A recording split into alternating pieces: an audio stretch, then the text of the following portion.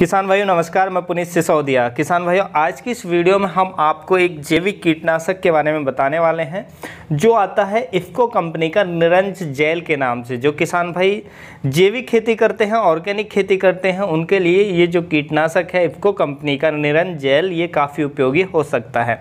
देखिए, ये हमारी फ़सलों पर सभी तरह के कीटों को कंट्रोल करता है तो इसके बारे में हम कंप्लीट इन्फॉर्मेशन इस वीडियो में लेंगे। वीडियो अच्छा लगे तो लाइक कीजिएगा।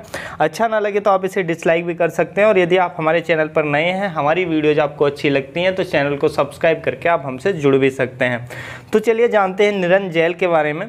देखिए निरन जेल ये ऑर्गेनिक प्रोडक्ट है, ये एक वनस्पतिक जैविक जेल है, यानी कि इसको जो बनाया जाता है, जो हमारा नीम का तेल होता है और एक पोंगमिया के तेल का मिश्रण होता है। देखिए, नीम ऑयल आप जानते हैं, कीटनाशक के तौर पर हम इस्तेमाल करते हैं।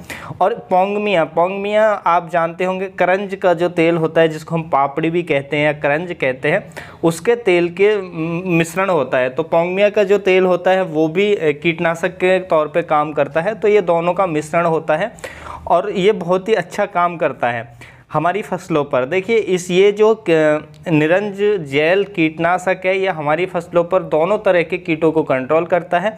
चाहे वो सकिंग पेस्ट हो, यानी कि रस चूसने वाले कीट हो या पत्ती चबाने वाले कीट हो तो हर तरह के कीटों को, दोनों तरह के कीटों को बहुत ही इफ़ेक्टिव तरीके से कंट्रोल करता है। यदि मैं इसकी कीमत की बात करूँ तो जो देखिए, ये निरन जेल है, इसकी जो एक के की जो पैकिंग की कीमत हमें मिल जाती है, वो चार से लेके पाँच सौ की रेंज में मिल जाती है और एक के जो होता है, वो एक एकड़ में एक बार के स्प्रे के लिए पर्याप्त रहता है।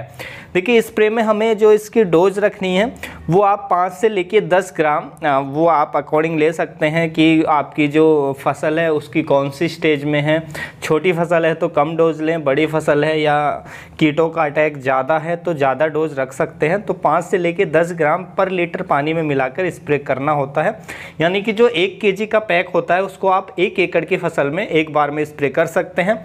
किसी भी फ़सल पर आप इसका स्प्रे कर सकते हैं, चाहे फलों वाले पौधे हों चाहे वेजिटेबल क्रॉप हों या सीरियल क्रॉप हों, अनाज वाली फ़सलें हों, किसी पर भी यदि आपकी फ़सलों पर सकिंग पेस्ट या पत्ती चबाने वाले कीटों का अटैक है तो आप इसका स्प्रे ले सकते हैं, बहुत ही अच्छा ये काम करता है।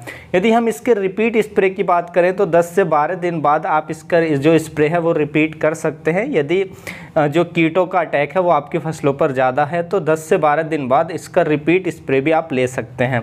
यदि हम इसके सावधानी की बात करें तो देखिए, जब भी आप इसका स्प्रे करें तो मॉर्निंग में करें या इवनिंग में करें तेज़ धूप में इसका स्प्रे ना करें तो आप इवनिंग का समय काफ़ी अच्छा रहता है तो इवनिंग टाइम में आप इसका स्प्रे कर सकते हैं। और जब भी आपकी फ़सलों में फ्लोवरिंग स्टेज हो, यानी कि फूल आने की अवस्था हो, उस समय पर आप इसका स्प्रे ना करें। यानी कि फ्लोवरिंग स्टेज में जब भी फूल बन रहे हैं, उस स्टेज में जो निरन जेल है, इप्को कंपनी का, इसके स्प्रे से बचें, क्योंकि फ्लोवर ड्रॉप की समस्या आपको अपनी फ़सलों में देखने को मिल सकती है। तो उस स्टेज में आप इसका स्प्रे ना करें। तो किसान भाइयों, इस तरीके से आप इसको उपयोग कर सकते हैं। तो बहुत ही अच्छा प्रोडक्ट है इफ्को कंपनी का। तो किसान भाइयों, यही थी आज की जानकारी। जानकारी अच्छी लगी तो वीडियो को लाइक करें, अन्य फार्मर के साथ इसको शेयर ज़रूर करें, ताकि उन तक भी ये जानकारी पहुँच सके। मिलता हूँ आपको नेक्स्ट वीडियो में नई जानकारी के साथ। तब तक के लिए आप अपना ख्याल रखें। धन्यवाद।